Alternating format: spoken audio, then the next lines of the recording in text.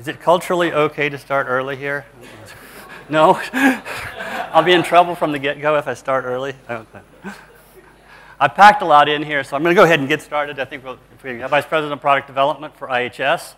Uh, IHS is, uh, we have a, an office here in Bangalore. We're a global company. Uh, data and analytics is our area of expertise, particularly a strong position in oil and gas, and then um, a lot of areas in the vertical in the supply chain very close to oil and gas, automotive, technology, chemicals, uh, defense, and aerospace. Um, we are probably a company that you have certainly heard from, but probably have no idea who we are. Um, we're the ones that are behind the scenes. We're reporting on forecasts of oil and gas prices, a lot of the economic risk. Um, if there's something in dealing with analytics and forecasting, uh, most likely IHS has been involved. Uh, today we're going to talk about uh, myth-busting software estimation. Uh, how many people are familiar with myth, Mythbusters? It's an American TV program. Okay.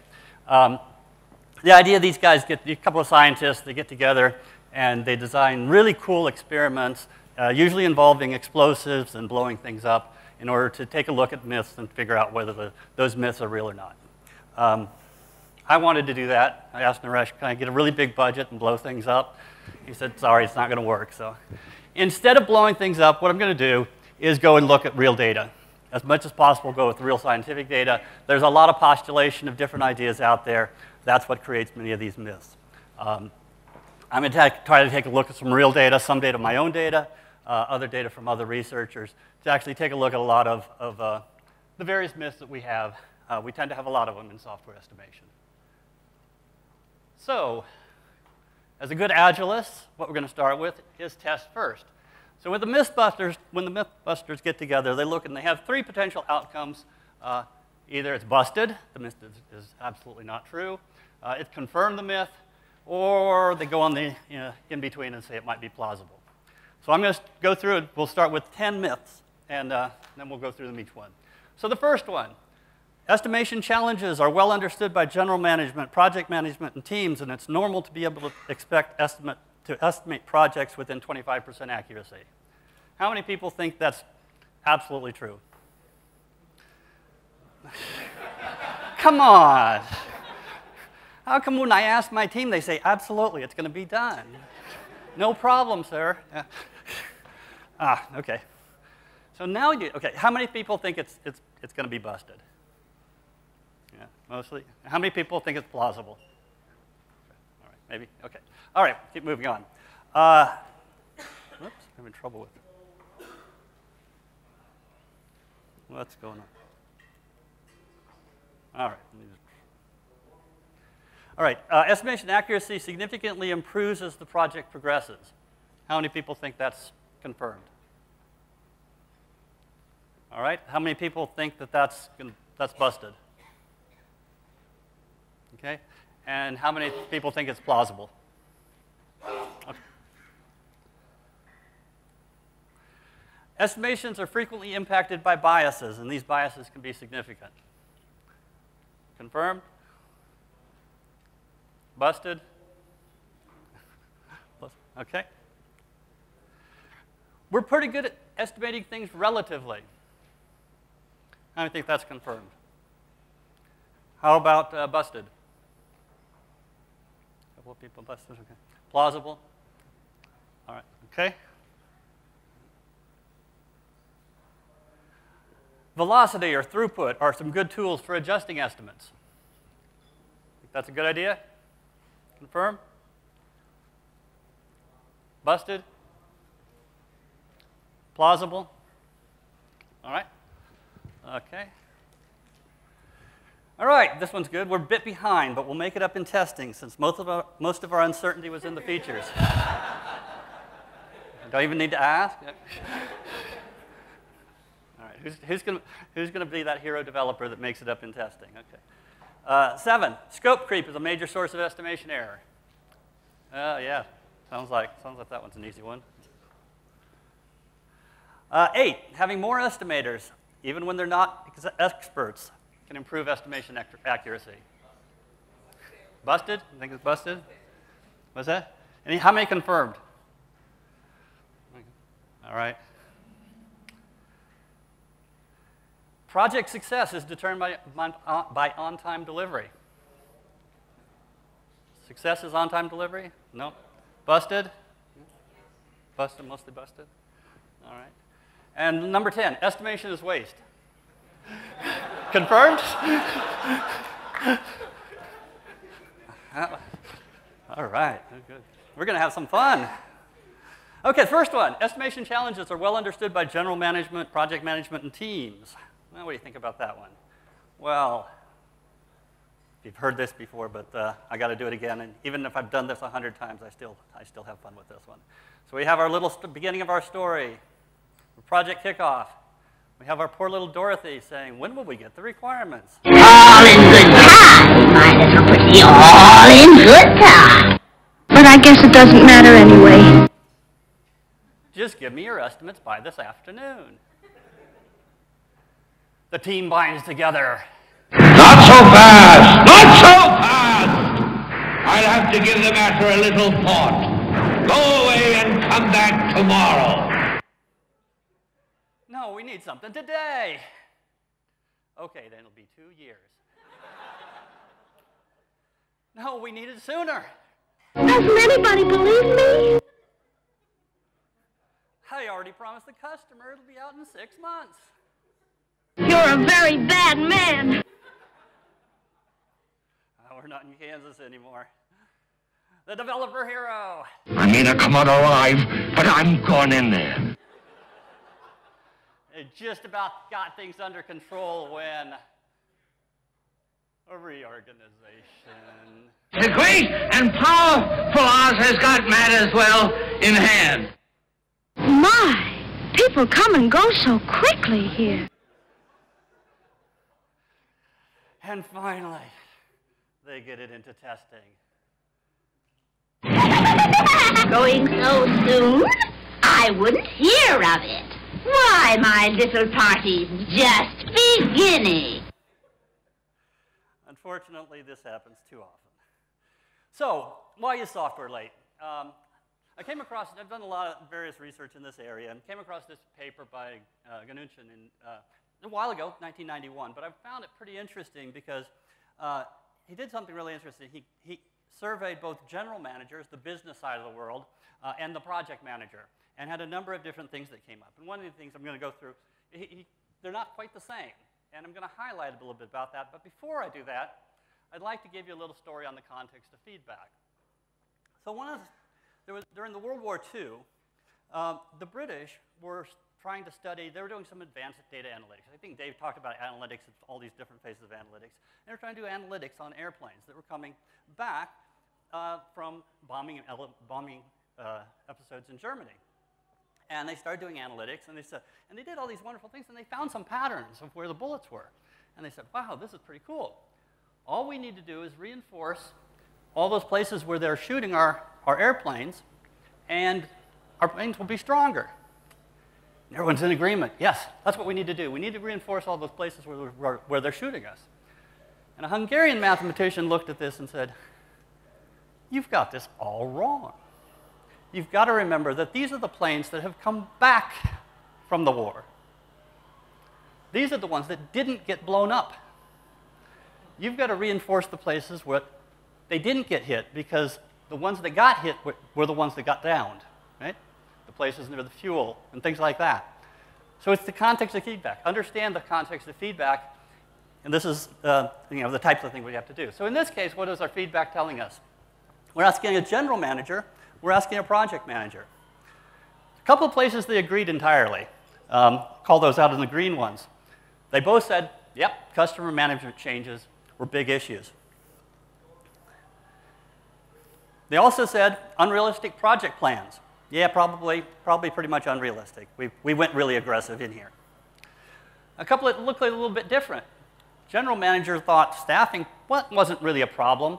Know, I pretty much gave them all the people and, and all the, the, uh, the money they needed. Project manager said, no, no, no, no, you don't remember when I kept telling you I needed more people, right?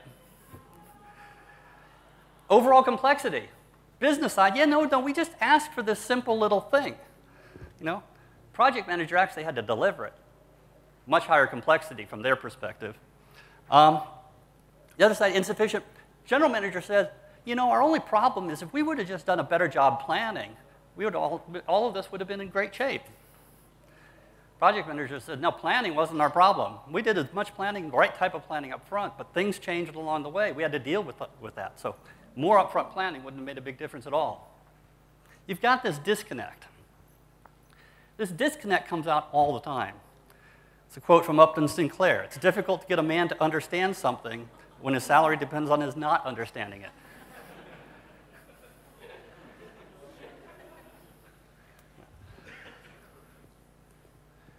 So let's take a look at the Space Shuttle Challenger. When the Space Shuttle blew up, they did a real detailed uh, uh, analysis of this. And they went back and they looked at, you know, what sort of probability of loss of life did we have from this program? look at it. The engineers, they said that there was about a 1 in a 100 chance of loss of life. Management, 1 in a 100,000. Okay, now what really happened in the Space Shuttle program? 135 flights, two disasters, 14 deaths. What does it tell you? Engineers are optimists. Okay? And management is somewhere in outer space. So let's look at some real data. Um, I was at a company, Landmark Graphics, um, and we were, we had been collecting a lot of data. Not really, it was more, uh, uh, not really as a program that was focused on anything, just we were collecting data because we were, we were technical geeks and we liked to collect data. So we were collecting some data, and we had a lot of, lot of data. We were a product company, and uh, I'd been doing a little bit of research in this area, reading about on it, so I said, well, let me take a look at our data and see how it compares to the rest of the in industry. Can I, can I validate some of the things out there? So I actually started out with the idea to validate some things. Um, came across a couple of unintended side, side effects, so let me go through a little bit of what I found. First of all, if we want to look at the accuracy of our initial estimate, so plot the initial estimate on the bottom, and on the, on the uh, y-axis is the actual, what we came out with. If we'd been perfect, we'd be all along that, that uh, magenta line. Well, what do we see? We saw data all over the map, right? Mostly, almost all of it to the point where the actual ended up taking more than the original estimate, but scattered in a fairly, fairly uh, dispersed pattern. I looked at that. I said, oh, that's sort of interesting. I said, it looks a little bit, a lot like uh, data that I'd seen in a book by Tom DeMarco. So if I look at the data and cross-plot the data with uh, data from Tom DeMarco, almost identical pattern. And this was totally different industries and probably 10 or 15 years earlier data. Uh, but that's the pattern uh, that I was seeing. And, and I started looking around and saw this a little bit more. Um, this is a, almost similar data uh, by Steve McConnell that was published in his book. Uh, very, very similar types of patterns. When you actually look at this and then you try to figure out, well, what does this mean? Uh, it sort of boils down to this. About 10 to 20% of the projects is, what is, is actually what's coming in at or under the initial estimate in, in, in what we're seeing. If I wanted to have a 50% confidence, so 50% of the projects, I'd have to go out twice the estimate. I'd have to double the estimate in order to have a 50% confidence of making that, of what was based on that initial. And if I want to have a 90% confidence, I've got to get out closer to 4x. So that's the, that's the nature of the, the, uh, the pattern that we see of, an, of what it's actually taking us relative to that early initial estimate. We see a couple of things. We see a very strong optimism bias because we're, we're very optimistic. The other thing is we have no clue as to the range of the uncertainty that we're dealing with. I mean, this is, this is when I have this conversation with people, they have just really no clue about that. They're thinking, oh, plus or minus 25%, I've added 25% contingency, I'm all in great shape. No, you're not even close to great shape. You, know, you haven't even covered the 50% probability case.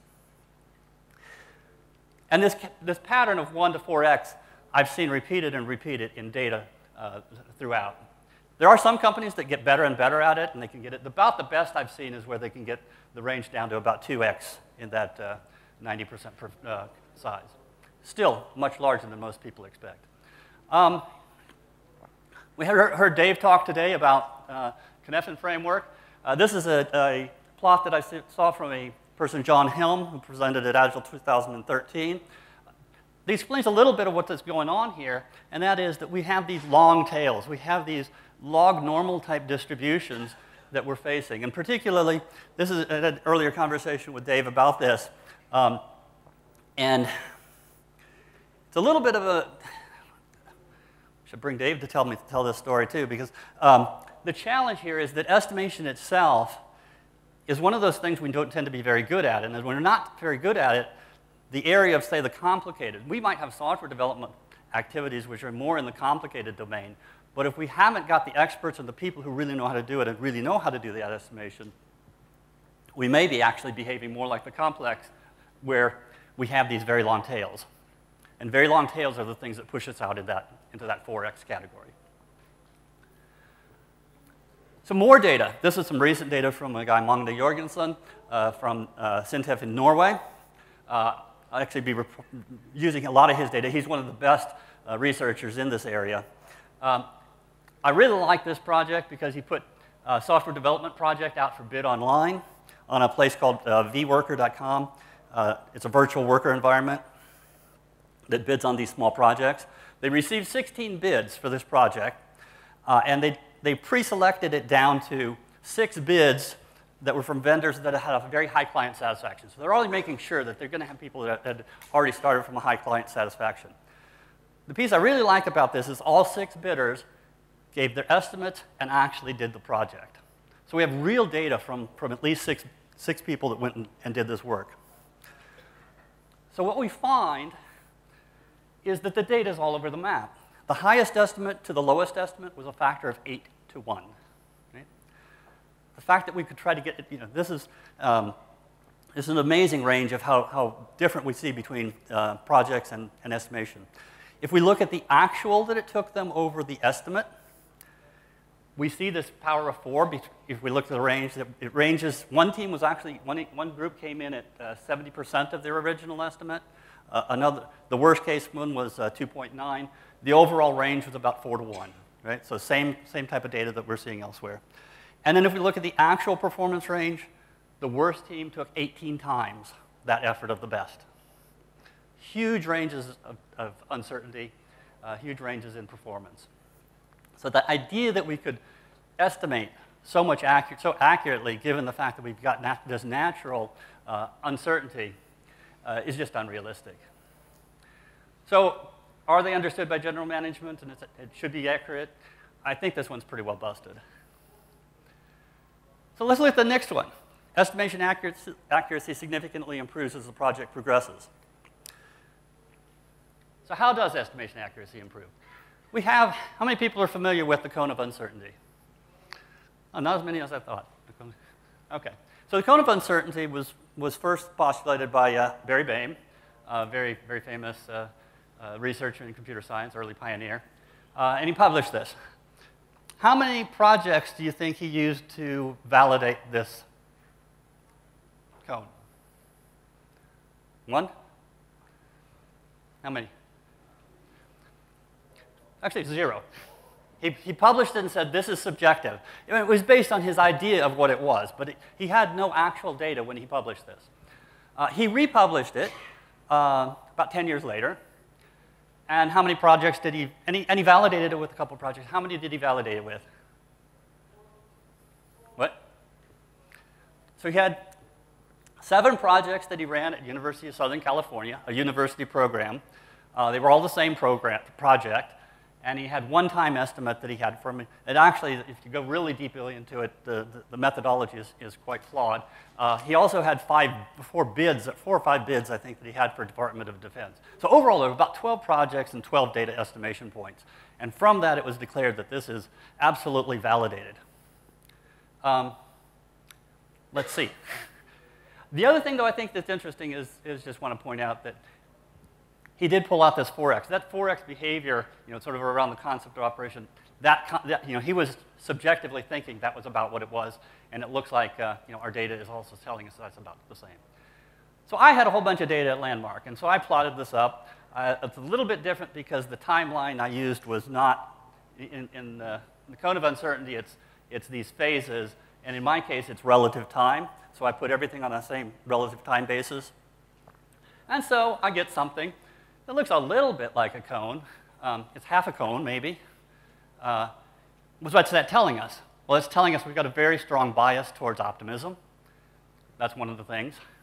And it tells us that it does get, it does actually converge, and that, and the, and the reality is that it, it's almost guaranteed to converge. Well, it is guaranteed to converge if you're only looking at projects that ship, because when you ship, there's no uncertainty. Once you've shipped, you have no uncertainty.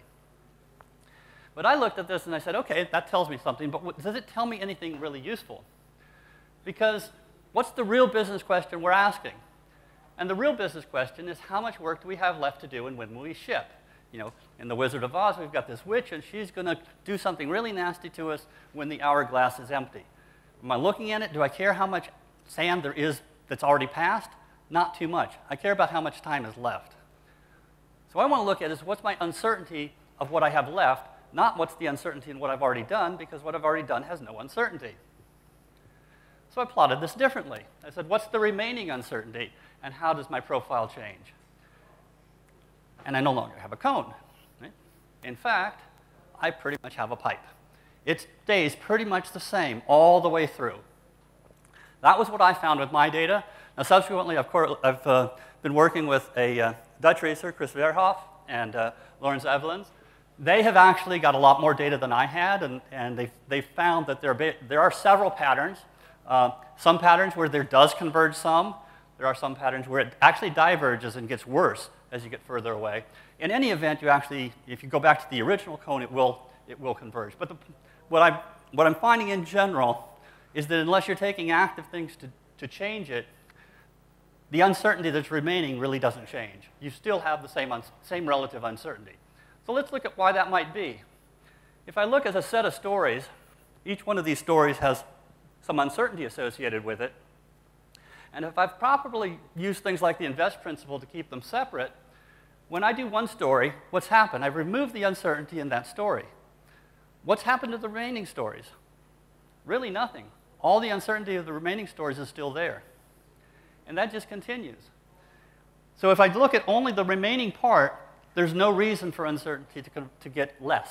The le it's really, in a relative perspective, the same amount. So if I'm one month away from the project, from, from where I think I'm going to be done, there's no reason, and, and I've historically been you know, a 4x type organization, my chance of success is somewhere between one to four months. And there's no reason to think that that's going to be drastically reduced.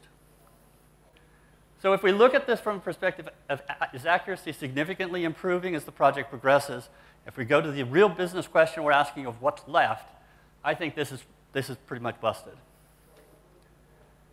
So number three, uh, estimations are frequently impacted by biases, and these biases can be significant. First, go back to our, the data. There's a clear optimism bias here. We're, we're, we're only looking at, at the upper half of the cone. So yes, absolutely, there's an optimism bias. Let's look at another bias. This is some more work by Magne Jorgensen.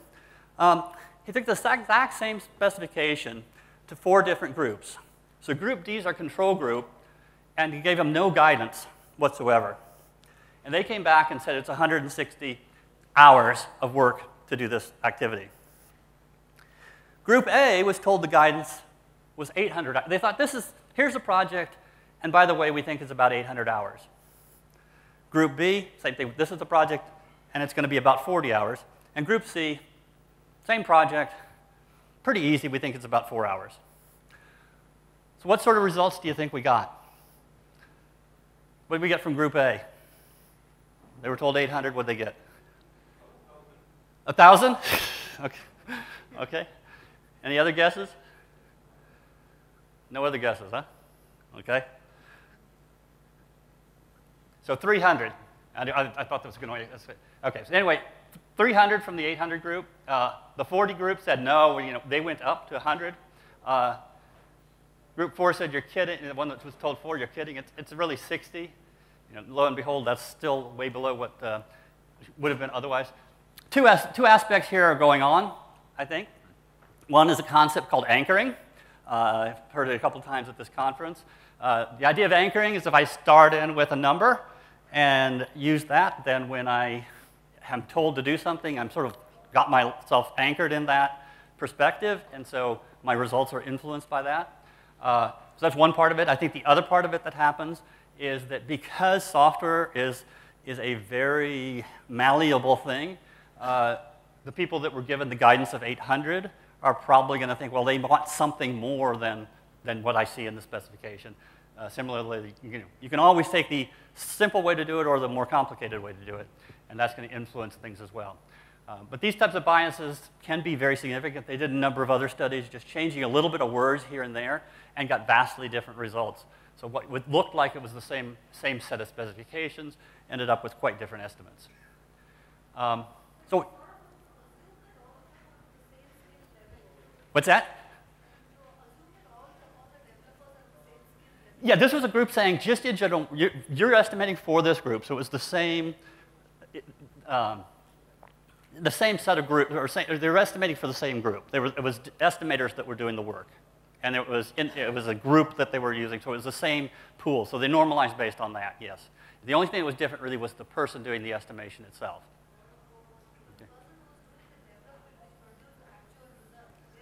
Yeah, in this case, they were using an estimator rather than the actual people doing the work.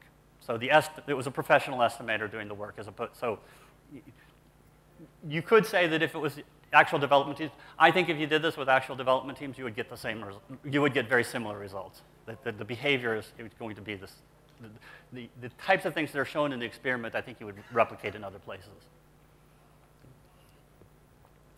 Um, and that's because what gets us into trouble is not so much what we don't know, it's what we know for sure that just ain't so. You know? So these biases are, are, can be very significant, and they, they can Im impact your estimations quite a bit. So here's one of the agile things. We say we're pretty good at estimating things relatively. Here's an example of it. Um, let's look at this. So Jorgensen also, did, anchoring I just talked about a little bit. This is one of the problems we have uh, with relative estimation is the fact that it, whatever we start from is an anchor for what we're, we're doing relative estimation on. Um, Jorgensen did some other work in this area. And the problem is when you do it, because of anchoring, A relative to B is not symmetric with B relative to A. Okay? This is the challenge we have. An example, you did a number of examples, some with software, uh, some with just general, general questions. You get to things like uh, Austria's population is 70% of Hungary's when we're using Austria relative to Hungary, while Hungary's population is 80% of Austria's with Hungary relative to Austria's. So both are less than each other. It, it's nonsensical, right? But that's the type of behavior that, that you get uh, as a cause of the, the anchoring. The data that's often, or the, the study that's often referenced to by Agilists as to uh, relative estimation is an excellent piece of work by Eduardo uh, Miranda, uh, but it looks absolutely nothing like any of the relative estimation approaches that we use. It's, this is a, actually a very, very complicated pairwise uh, estimation process, and it goes through a fair number of, of uh, moderately complicated mathematics. It would be much more complicated than I think I would see in any Agile team, because most Agile teams are taking an approach toward doing it simpler and simpler, which is not necessarily a bad thing.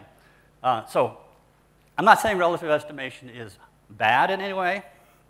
Uh, I do have my concerns about it. So let's look at this particular one. This is one I think is, is interesting because it's using an example to point it out. We're pretty good at estimating things relatively. And it says this is about twice as big. So the big, the big one is about twice as big as the small one. How many people think that's about right? Big one's about twice as big as the small one. Look about right? All right, anyone else have suggestions? Not twice as big?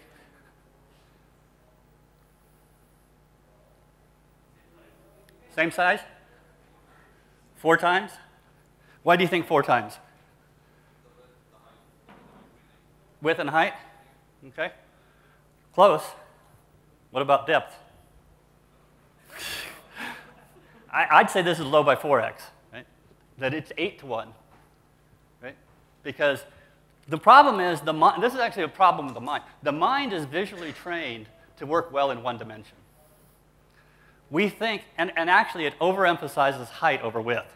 So if you get a glass and you have a very tall glass, and, and most restaurants and things know this, if you've got a very tall glass, it looks like it holds a lot more than a very thick, very, very uh, thick and, and wide glass, when in fact they often have the same.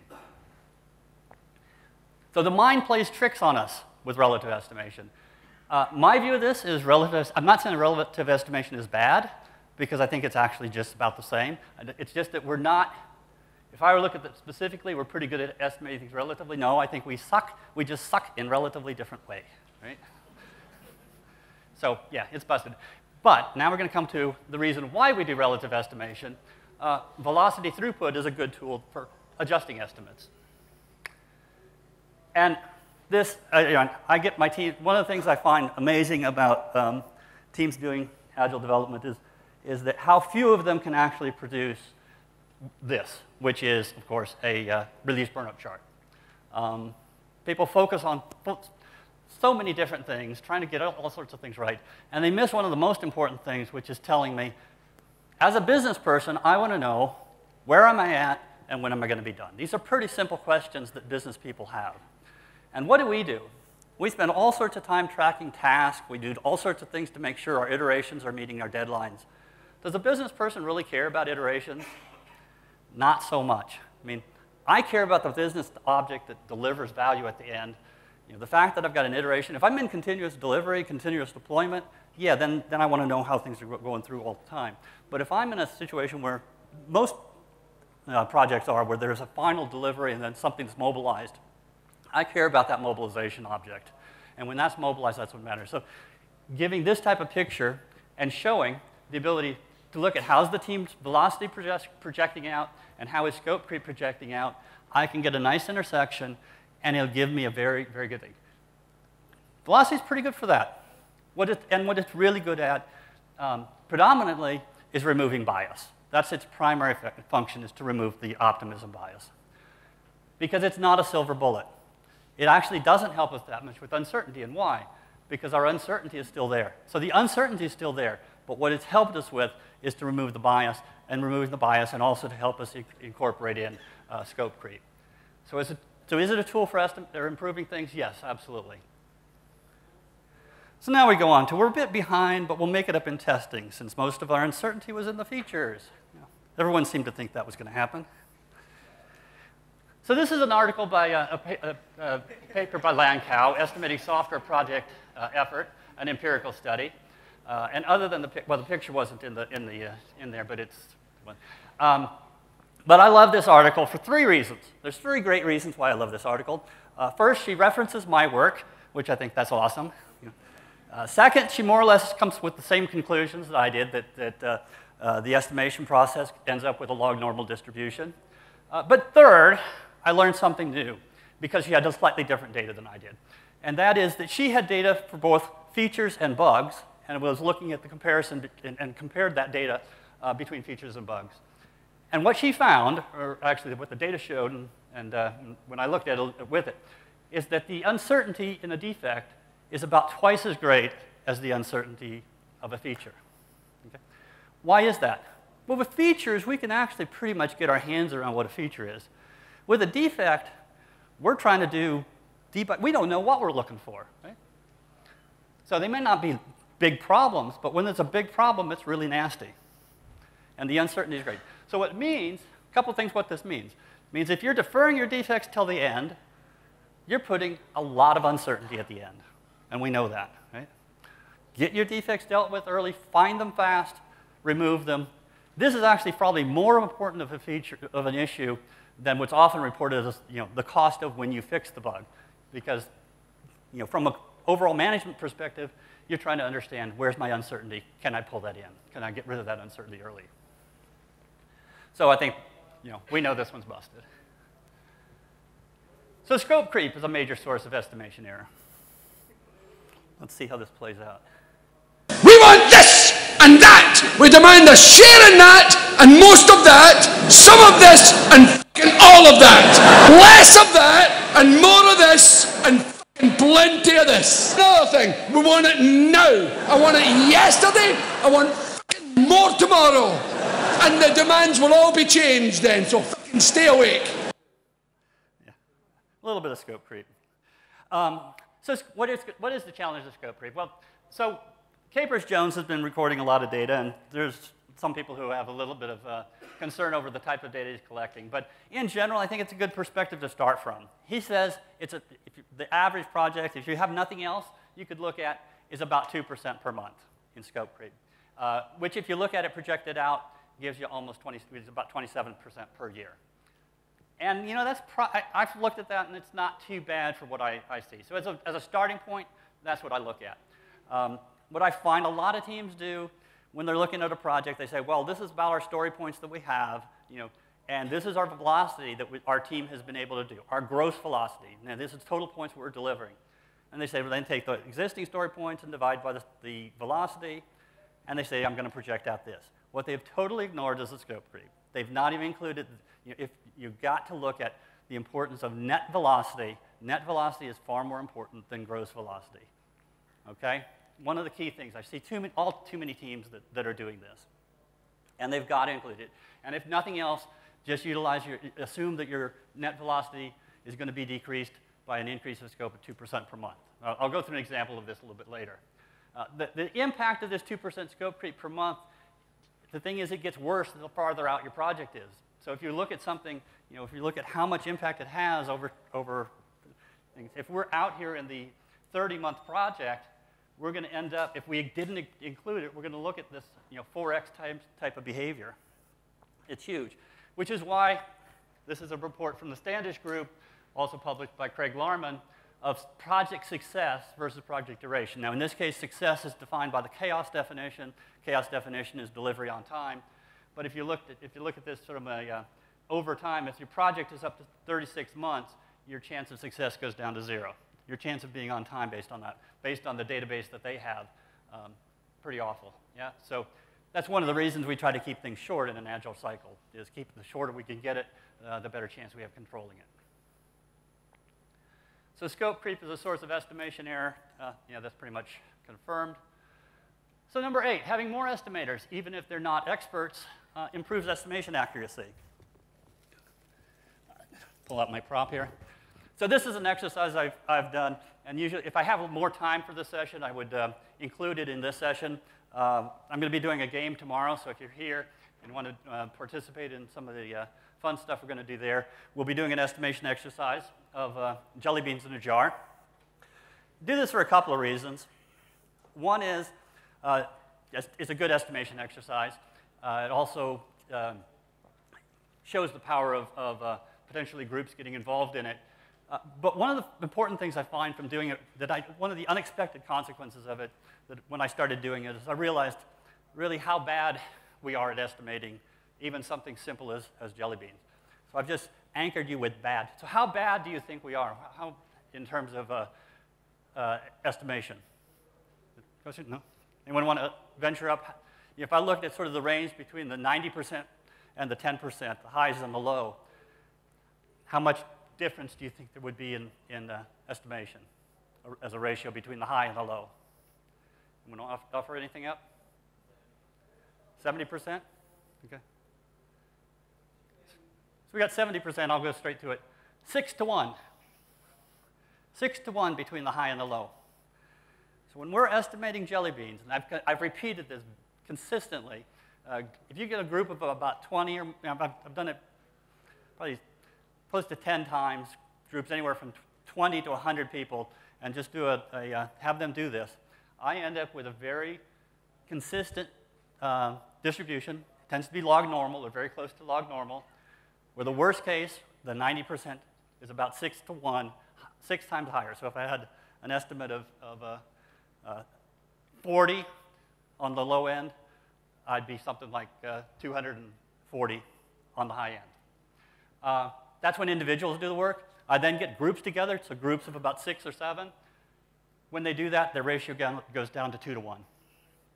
And if I just take the average of the crowd and then compare average of crowd versus another average of crowd, that range goes down to about one and a half. So plus or minus, close to the plus, yeah. This includes, yeah, it includes not experts. I mean, there's no, yeah, I mean, anyone an expert at, at jelly bean estimation? So it's not expert. So this is one of the things it, that you would think that this would be pretty easy. I mean, it, it would be a pretty easy thing. I, I, always uh, work with business people as this one uh, as well. I'd have business people do this, and they, they come up with these numbers, and they do the same thing, or, uh, you know, six to one, or sometimes worse. Um, and I say, okay, so is this easier or harder than estimating software? Okay. you know, easier, right? And software, we were able to get four to one, okay? So, you know, it's, it's a, correct. So you would think this is easier. Now, the granted, I do this in five, you know, I give them about five minutes, so I don't give them a lot of time. Software, we do, software, we get at least 10 minutes to do our estimates, right? okay. Uh, so this is written up really well in The Wisdom of Crowds by uh, James Surowiecki, uh, and that's sort of what the, the uh, source of where I started working the experiment. Um, it was interesting to come across this book because I had read this other book called The Extraordinary, Extraordinary Popular Delusions and the Madness of Crowds. So here we have one side, which is the wisdom of crowds, and another part, another guy, which wrote this back in the 1700s, I think, uh, on the madness of crowds. So are crowds, are they crowds wise or are crowds mad? And the reality is that they can be either way. Um, so the, some examples here on the wisdom of crowd is jelly bean estimation, uh, the who wants to be a millionaire. The, the most accurate thing to do is the, is the audience, um, ask the audience type of thing, which is, uh, gets a 91% correct answer. The examples on the madness of crowds are things like sometimes stock markets go mad. Uh, the Dutch tulip mania in the 1637, uh, where an individual tulip bulb was worth multiple millions of dollars. Um, just craziness. And, and the reality, so, so crowds can go totally mad or they can be incredibly smart. And the key part is diversity. If a, if a crowd has diversity, it will tend towards being really smart. If a crowd does not have diversity, it can go off into groupthink and be totally crazy. So the idea is bringing in multiple opinions, making sure that those multiple opinions are diverse. Uh, this is an example I've used with some teams is to, you know, ask the team and get a distribution from the team as to where they are. So ask them individually, anonymously, and then plot this out. And this is just a you know, incremental distribution. So in this case, we've got, a, we've got some groupings here. We've got some distribution that tells us something. Um, it also tells us sort of a, you know, a range of where it could be. And it gives us also the possibility to have some conversations. I think in Jeff's talk yesterday, there's something about the, you, can look, you can get stuff, stuff from data, but you can't get the empathy. And actually, in this case, you don't have to be a rocket science to get some, uh, some really interesting information from this. You get some uh, patterns here. So who do you think that was? That's all the developers. That's all the testers. And that's the test manager. Not on my watch. Um, so you get a little, you get some, but what, you, what this worked out with this particular team is this was a great conversation because the developers had no clue as to why the testers were worried. And then they got together and actually, after having this, they had the framework to have a conversation, and they worked pretty well, and they came in, they came in pretty much at that inflection point. So in general, having more estimators, even if they're not experts, uh, improving estimation accuracy, that's pretty well confirmed. There are some, you know, you have to have just enough knowledge, but you don't have to be experts. And getting more people involved is, is generally a good idea. So project success is determined by on-time delivery. So certainly that's how things like Standish Group says, yeah, on-time delivery, that's the important thing. And they give this like, often reported uh, challenged projects that didn't meet their date. But why do we really care about on-time delivery? Is that what we really care about? One tool I use for this is something called the cost of delay. What I want to do is I want to have the adult conversation as to what it really means to be late. What's going to happen? Is everything going to go, is the world going to fall apart if we don't deliver? Are we in a situation where the market, the market forces are such? Maybe in the US around Christmas season, if I'm a game company and I don't deliver in the market window, I'm in real trouble. But on the other hand, I could be, have a very good uh, position with a product, not really strong competitive forces, and if I'm a little bit late, it's not going to have a big impact. So it's really important to have that conversation with the team as to how does the market value fall off relative to the date?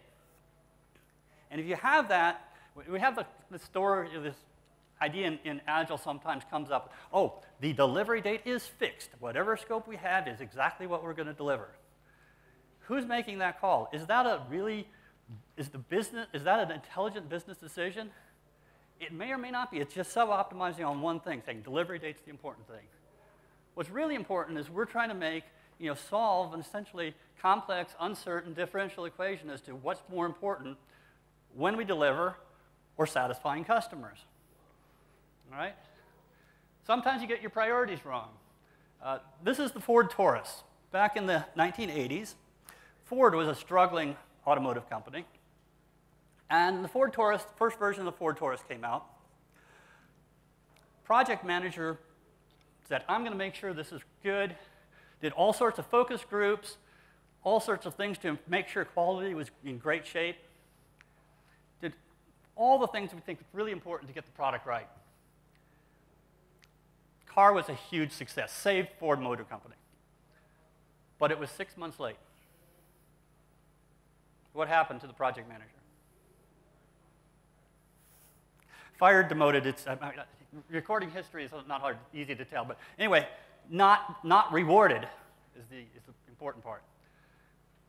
So they go on with round two of the Ford Taurus, new project manager. What do you think he did? Delivered on time, right? Cut all sorts of corners. No focus group, ah, don't need those, it's going to hit our schedule. Quality, ah, quality is good enough. We're going to hit the schedule. Now, what do you think happened from a market perspective? Not very good, right? So you got to make sure your priorities are right. Look at this. This is one uh, thing I look at. A poker metric. Do you think, if I were to say I'm going to have a metric called percentage of hands won, you think that's a good metric? Percentage of hands won? Good? Not good? But it turns out it's actually a pretty good metric for determining who's the loser. Right? Because what do you have to do to win hands in poker? You have to stay in. You have to, you, if, you, if you, the really good poker players do not play many hands. They get out early. Right? And in order to win, you have to stay in. Right? So if I were to just arbitrarily say that's the important metric, I'd be in trouble. Where we say on time percentage is an important one. Uh, this is some data I included in my paper. The really ugly red project there is Microsoft Windows Word, WinWord 1.0. Anyone remember WinWord? Yep. Um, anyone remember what the, the old enough to remember the uh, word processor market back when WinWord came out? It was a while ago, maybe. So, WordPerfect was a dominant player in the marketplace. WinWord was a brand new product. It was going to come out on a brand new operating system, Microsoft Windows, but it was horrendously late. It was always, it was one of those, we have to be out in one year projects that ended up taking four years. But if you look at it, WinWord took over market share very rapidly. So it was late, but from a value delivery perspective, enormous. So I like to work more towards value metrics than uh, uh, cost metrics. Uh, Douglas Hubbard says that our industry is totally messed up in terms of what we look at. Uh, we tend to look at the most measured tends to be the lowest information value, such as cost and time. But what's really important is things that value delivery, and we just tend to not, not measure it. And part of the problem we don't measure it is because it's a lagging thing. It's hard to measure, and, and it tends to lag. So instead, we measure the thing that's easy but useless. So if we look at outcomes and out, or outputs and outcomes, uh, Jeff talked about this yesterday. Uh, if we're bad and, and uh, we, are late and we produce a bad product, yeah, we're pretty much on thin ice. Uh, we're a rock star if we've got on, on time and, and a great outcome. If we've got this good outcome, like the Ford Taurus, and we're late, uh, I can't predict anything because politics is more difficult than physics. But if we're uh, on time and produce something bad, we call that crap on time. And, and you joke, we actually had, there was a time in a company that was on, where our customers were saying, oh, you got crap on time. And it wasn't the thing you want your customers saying. So project success determined by on-time delivery, uh, yeah, not so much. So estimation is waste. Um, you got to go back to the real business questions. Is it worth doing? Uh, what's the priority? What's the target time to ship? What's the critical scope? Do we have the right investment? What's the cost of delay?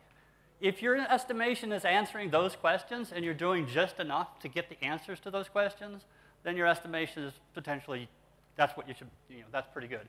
If you're doing estimation that's well beyond that, it most likely is waste. So is estimation waste? Uh, it's plausible. I mean, I think I, I, like a lot of what I'm seeing from the no estimates camp. Um, I'm still curious as to how, you know, how it all works. My perspective is you do just enough estimation in order to do things to answer those questions, particularly to prioritization. Um, you know, if I see people from the no estimates camp, they say, well, we don't do estimation, but we do prioritization. Well, if you're doing prioritization, you are doing estimation of some form, one or another. So, you know, prioritization and estimation I see as just two sides of the, of the same coin. So now what? So I think we're out of time, which is uh, not a surprise. I have a little bit more that, that I go through. I'll be going through it tomorrow at the, uh, at the game, so I leave you in suspense now as to, you know, I scared the hell out of you because we have to do all this estimation, and I have a simple answer to how, what to do and what I've used that works really well. Uh, we're, gonna, we're actually going to live it in the uh, simulation game tomorrow, so if uh, anyone's uh, still here tomorrow and wants to be involved in that, uh, that'd be good. But I think I am supposed to be done now, right? All right, thanks. And got happy to talk any questions. Um,